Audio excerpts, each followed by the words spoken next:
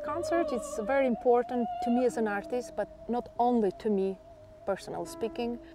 I will try to give the meaning. What does it mean to be an artist?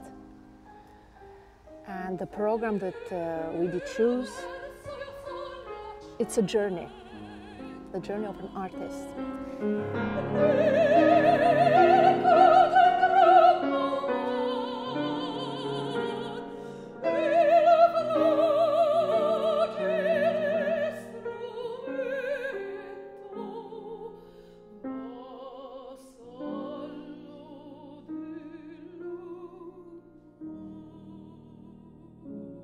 I'll try with all my experience to sing my soul out.